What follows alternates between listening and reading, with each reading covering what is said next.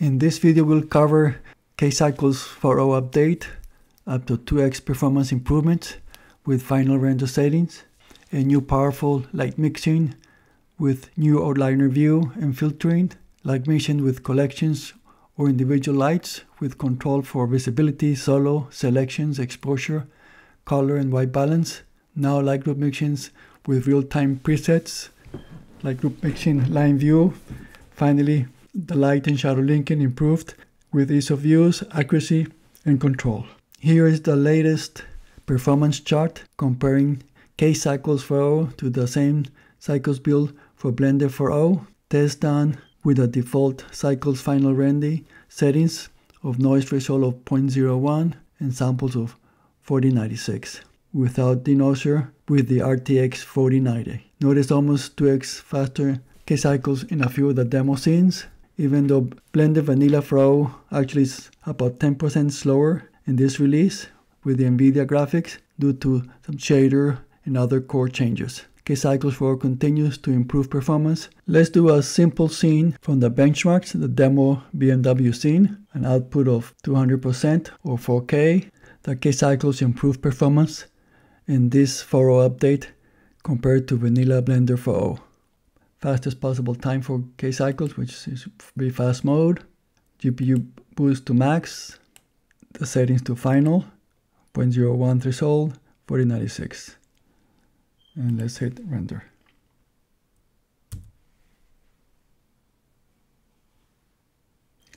And here's the render finish with 24 seconds, 0.17. Here's the same BMW demo scene. You can see I'm using Blender 4.01 version, the same output at 200%, final render settings without denoiser, 0.01, 4096, and let's hit render.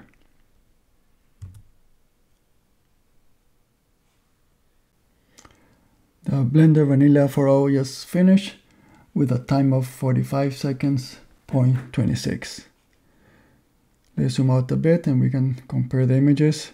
We basically have, if you look at up, up there, 45, 24, the same image quality visually.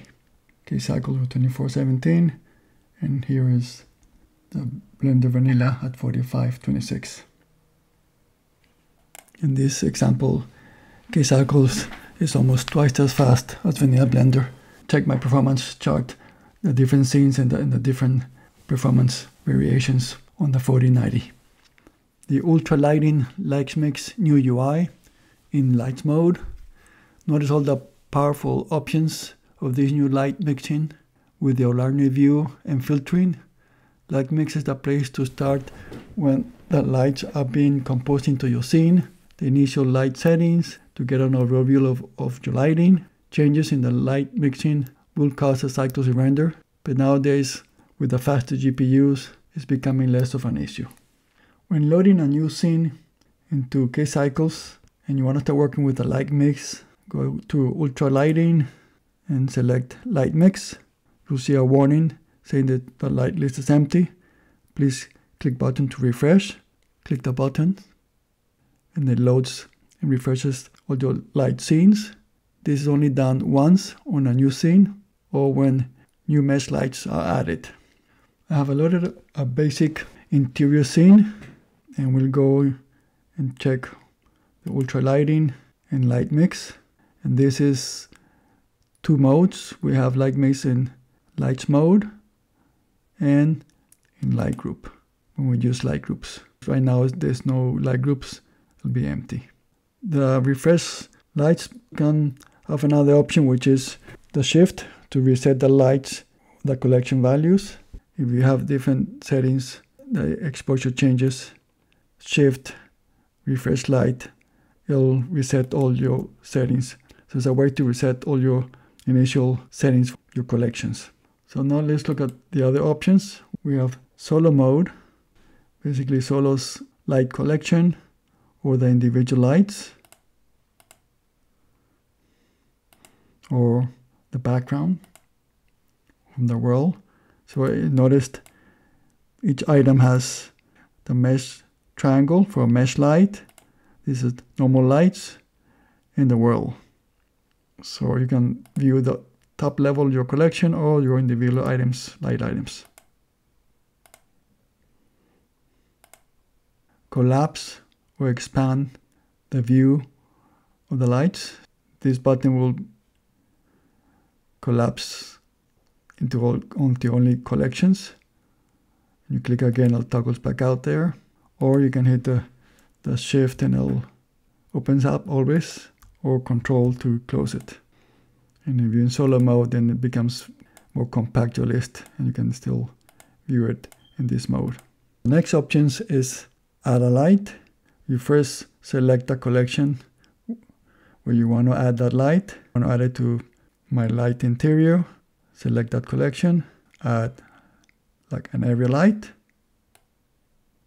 Notice we just added one. Go into solo mode, select the light. Now we place it and move it to wherever we want to add that area light. And it's that easy. And the last option on the toolbar is filtering. Filter all the different options have collections but only mesh lights. We can enable them again we disable lights, also mesh light, and just have the world lights. The lights without the collections are just the lights only without this collection subgrouping. Go back to the beginning. So everything is very quick, interactive on your list. Show and hide collection lights or individual lights. We can hide the whole interior. See all the light bulb lighting was off. We can turn it back on. Or the table, only the lights are related to the table. The difference between the show height that you do in the mix light mix is because it's only related to light. If you when it did the same thing here in the table collection, it will move the whole table and, and it will do everything objects and lights. Where in the light mix it'll be only related to the lights in that collection. Selection, which is works similar to the outliner, you can select one, shift or control to select multiple items, toggle the back out, can also select collections. Now double click allows you to rename. Let's change this to background sound with double click. So let's look at now the collections individual adjustments. It's better to go in solo mode in this case, stereo lighting. This will affect all the lights within that collection. And we can also go by steps, half steps, quarter steps, or we can enter just a number 0.3 0 automatically values of all the lights in that collection get adjusted. It works well even in mixed settings where you have mesh lights and regular lights. We can select this one and then we have the, the spotlight and the mesh light there and all of them get increase or decrease change the color of the lighting so we can go back and adjust, give it a color.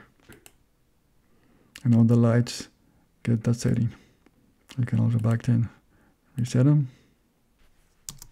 So it's very easy, intuitive to adjust all your exposure settings individually or by collection light.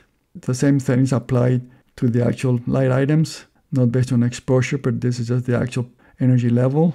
The steps, these are exposure steps, so this one do increase half steps or quarter steps with a shift. The last one is delete in the collection or individual lights. See, I want to remove all the lights that I have on my table collection. Click delete, basically gone. Let's undo that. Remove the individual spotlights. The ultra lighting UI in light group mode. Once you're happy with the light scene setup and the light mixing, you can use light group for real-time adjustments, explore different lighting scenarios, and save them with the new presets. All of it in real time, making it fun, fast, and easy in the viewport or after rendering in the compositor. Be covering new features, including the new light group mixer. Please check my older videos for previous features of ultra lighting, light groups, and light and shadow linking. Select light mix light group mode. Right now it's empty because we have no light groups. Add all collections to it. this light group should match the same thing as the light mix. Let's go expand. You see we'll have the basically light assembly, exterior, table, the world, light mix setup got linked to the light groups. Let's switch back to light group mode and this shows the actual lights belonging to the light group. The most important toggle is the composite all groups. This composites all your different light groups into your scene and allows you to view all the different modes and features within the light groups. And make sure to have your light mix have all the lights visible and not to be in solo mode in the lights in the lights mix mode. So make sure this is solo is not on and all your lights are visible. So here we have really similar settings as with the light mix. We have the solo mode, but if you notice here, it's definitely got a bit faster because there is no re-rendering. Instantly, you can view all your light groups. The same settings we have here for for the power, the exposure. We can do steps also. We can adjust color tinting. We can adjust also white balance. Done all in, in real time. Toggle the shadow. Cast shadows for the whole light group. Enable this toggle. Shadows are gone. We put them back on. But this one do cause re-rendering. Light and shadow linking is fully integrated with the light groups to give you more light control on your scene. Check also my previous video on light and shadow linking for detailed information and usage. Let's look at a quick example. Let's zoom into the table. Solo mode the table light group. Here we have some spotlights onto the table items. The light onto the wall can be quite distracting and I just want to control the lighting only into the objects only and to the table only, not into the wall. Light and shadow linking will be perfect. Select light and shadow linking, enable also shadow linking. That causes a re-render and there is per light group. So if we switch to another light group, that's not enabled. Add the items that we want to receive light from the table light collection. Select table here, when the lights on the table with the plus sign here. So add the books and shift select or control so we can have two collections selected. Add them also those three collections the lighting on the table it only affecting the table objects the books and the glass. And the lighting direct lighting on the wall is gone. We can also look at some of the options. Cast shadows look at the book look at this table shelf select the books and the shadows there's no shadows on the, the book exactly on the shelf here. Enable back the shadows for the table and keep it off the book. So disable receiving light. So let's say we don't want lights to be on the glass I click on this light bulb. If you notice there's still light. There's only indirect light, not direct lighting. So the direct lighting, mm, check it again. You see now we have direct light on the glass. With this disabling the receiving lights, we'll won't receive direct lighting. So it's a lot the glass is a lot darker, but still there's some light on the glass because there's bounce light. So bounce light from the table into the glass is not eliminated. Light and shadow link does not remove the bouncing of the light. And you can quickly see that, that if I remove the table from receiving light, the glass will be completely dark because there's no more bouncing from the table into the glass. So now the only the book is receiving light. You really have a lot of control over what's lighted, what has shadow, you have a lot of control for many type of scenarios you couldn't be puzzled previously. Put everything back. Let's get out of solo mode. You'll see now that we don't have any more that direct light from the table spotlights into the wall. So it looks a lot cleaner and less distracting. So new for this 4 release is presets.